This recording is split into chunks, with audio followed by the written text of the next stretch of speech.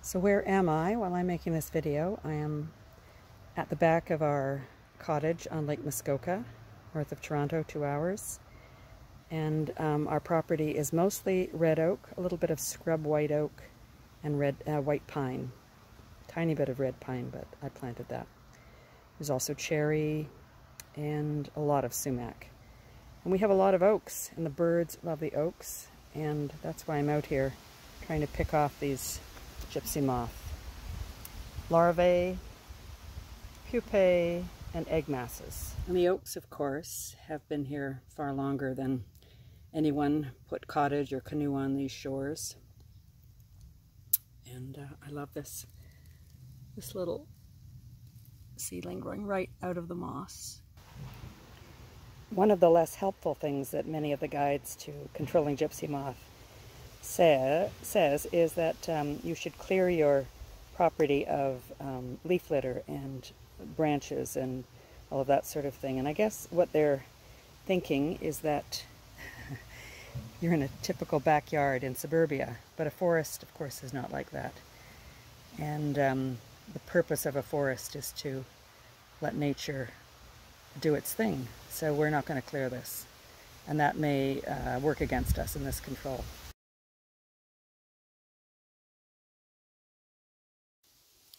So even Doug Tallamy says birds don't eat this guy. Though Doug Tallamy, of course, in Bringing Nature Home says that oaks are the very best plant you can grow in your garden because they bring in caterpillars and they bring in birds. And that completes the cycle of life. But this caterpillar from Europe is not eaten by our native birds.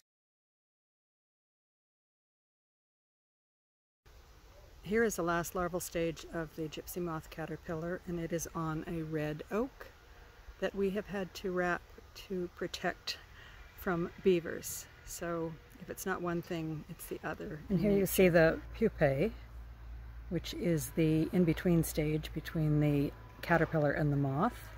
And these things are now transitioning to be either male or female moths. And Again, they're on a tree that we have protected from the beaver, which often comes up from that shore. This is not very pretty, so avert your eyes if you're a bit squeamish. And you also have to be quite far away from these guys because they're, they sometimes squish, lug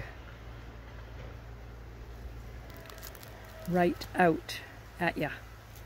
Ah! Keeping in mind that each of these pupa has the potential to be 200 to 500 caterpillars eating these oaks in spring. And here you can see some of the pupae under oak leaves. So they're not always on um, bark or wood, they can actually um, pupate in the protection of one of the oak leaves near the bark.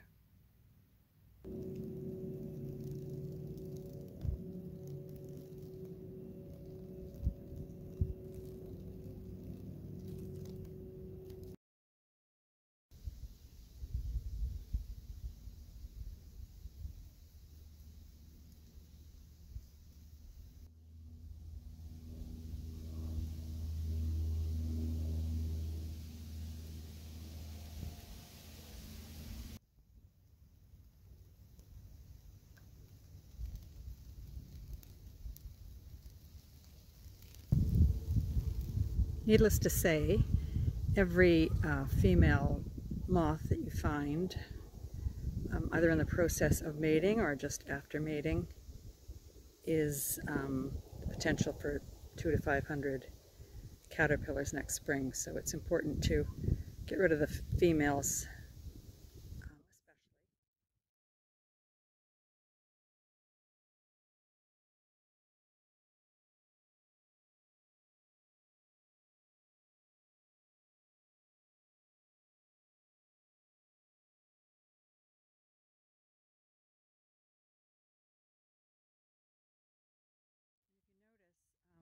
there are multiple pupae and of course then moths on this tree.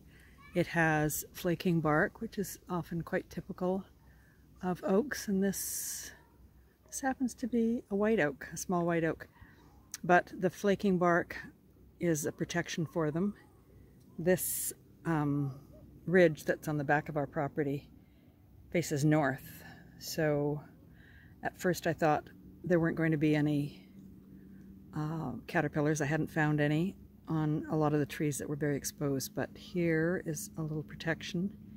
And um, when you find a tree with caterpillars, larvae, pupae, you often find many. So they have um, pheromones, obviously, but also an instinct for protection for the eggs. So what makes this such a difficult procedure is that you can see here that the female moth is well camouflaged behind this leaf, this red oak leaf, and there she has already laid her eggs.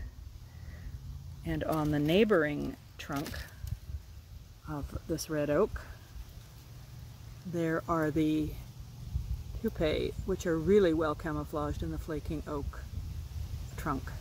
So um, it's going to be a hard task to catch all of them. I mean, it's impossible, but at least I will be um, controlling some of them, and that'll make a difference next spring. So here is a very popular gypsy moth hangout.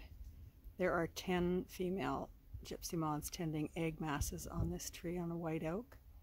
I think I said before that they didn't go for white oaks on our property, but they most certainly do.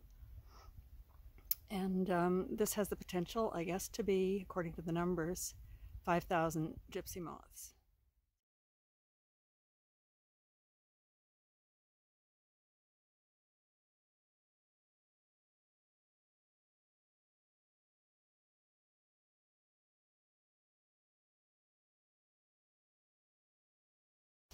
I can spray this egg mass without actually getting that close with this homemade sprayer and my recipe for homemade horticultural oil. I'll have to come back and check on these later, but pretty sure the combination of oil and soap is going to do it.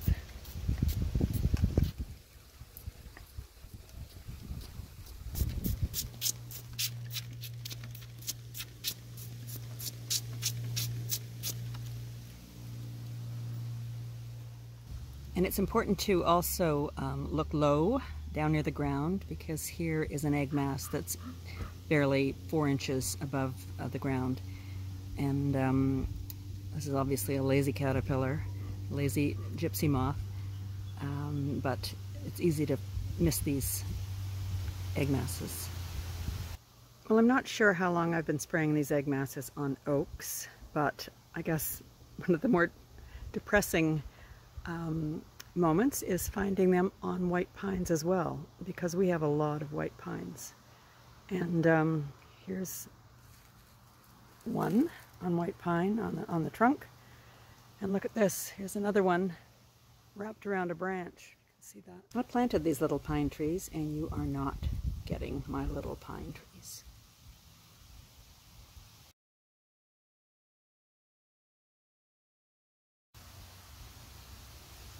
When we built on this property, it was necessary to do some rock blasting in order to get our foundation into the ground at a reasonable height so that we nestle down a little bit.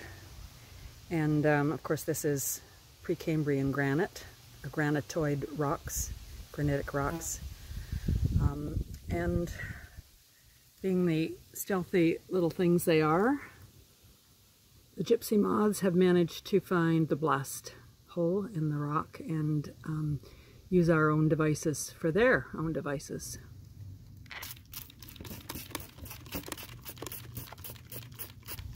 And some of the egg masses are clearly too high and too dangerous to remove. So um, those ones will have to come back and try the stick approach.